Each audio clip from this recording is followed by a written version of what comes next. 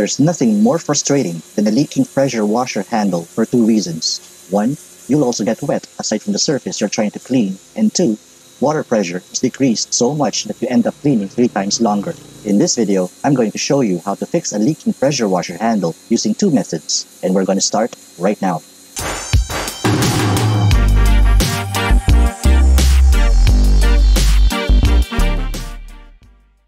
This entire assembly is called differently by different people. A pressure washer handle, a wand, a lance, a sprayer, a nozzle, or a gun. But no matter what you call it, don't you just hate it when it starts to leak?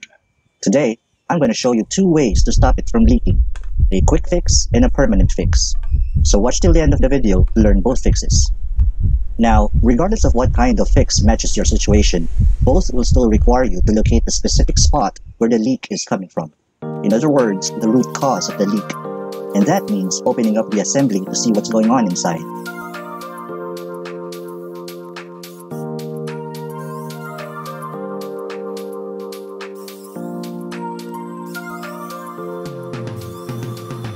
Once open, the first thing you have to check is if there's any crack along any part where water passes through.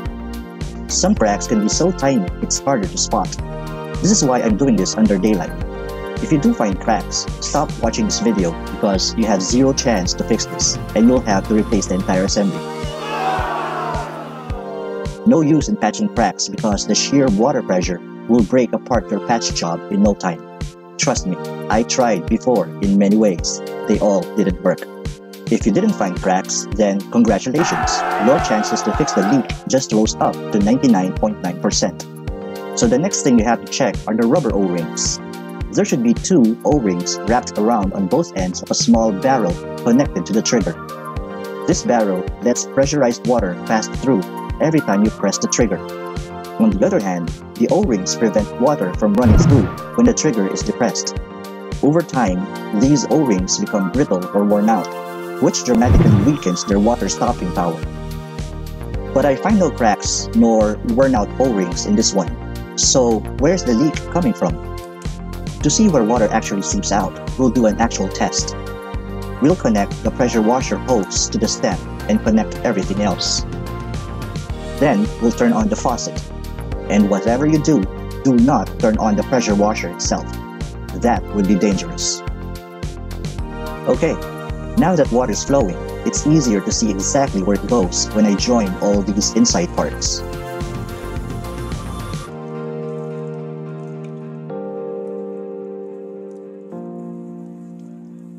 Will you look at that?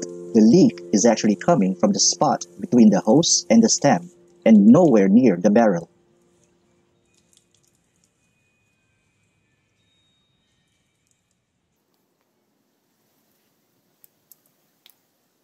If we look at the tip of the hose more closely, it has an indentation where an O-ring is missing. Actually, I found the O-ring off camera, but only half of it. It means the other half must have disintegrated a long time ago. No wonder the leak was that bad. And if you're wondering, the larger indentation farther down does not need an O-ring. It's actually the locking mechanism that joins this hose to the handle's inner stem.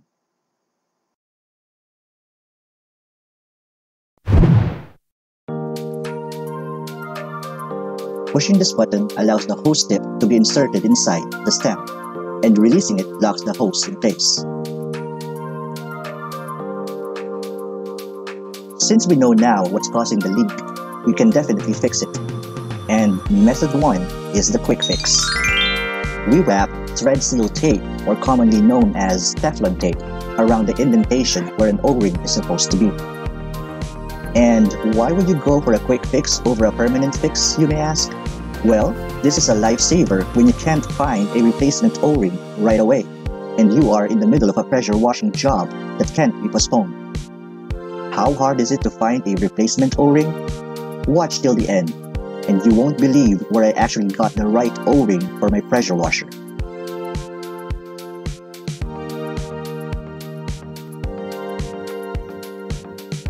Okay, let's put this Teflon tape fix to the test.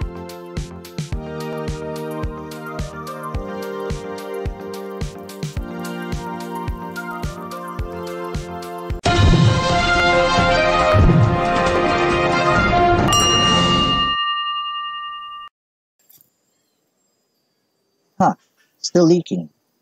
You know what that means? More Teflon.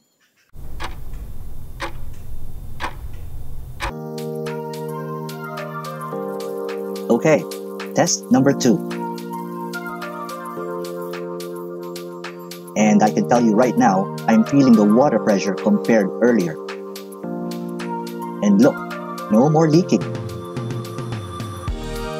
But a real test is a test with the pressure washer on. So let's reassemble everything. And I gotta be honest, it's so much harder putting the assembly back together. One, we have to align the parts to their respective slots, and two, the spring in the stem is creating an outward tension that makes it difficult to hold everything together all at once.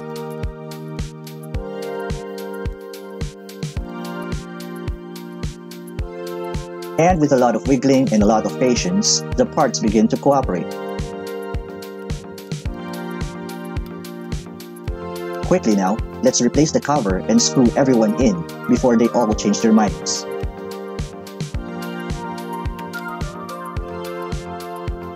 Don't forget to pull the trigger a few times to make sure the entire assembly is functioning properly.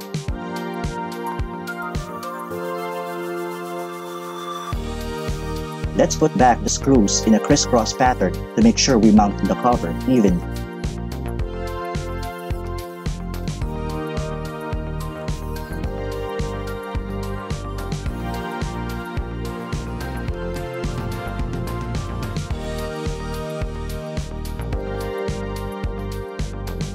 Okay, let's pull the trigger a few more times. Good. Alright, let's mount our Teflon taped hose to the wand assembly and make sure everything is snugged into place. Let's turn on the faucet and just the faucet for now and test. Okay, I do see a small drip coming from the handle. Will the drip get stronger if we test with the pressure washer on? Let's test it now.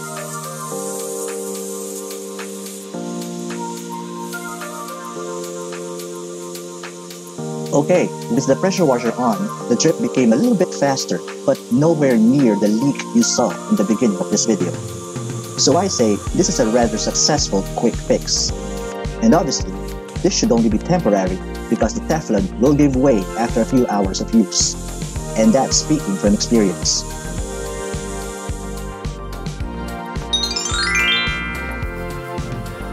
Now, let me show you the permanent fix. Look closely. Zero leak anywhere. The solution is obvious now. We used a proper O-ring instead of Teflon tape. But the real question is, where did I buy this replacement O-ring? You would probably guess from the same store where I purchased the pressure washer or any store that sells pressure washers, right? Wrong. Turns out they don't sell O-rings off the shelf. They told me I can place a special order, but it would take at least two weeks and there's no guarantee. Well, I just don't have the time and patience to wait that long. And so, I set the entire pressure washer in the back of the car and went around the neighborhood to go on an O-ring treasure hunt. And you know where I eventually found one that's a perfect fit? From an auto supply or auto parts store. Yep, seriously, an auto supply store. And it only costs 10 pesos a piece, so I bought 5 in case I run into the same situation in the future. Now that our pressure washer is back to 100% performance, we can certainly wash another day. This is HanDIYman 007.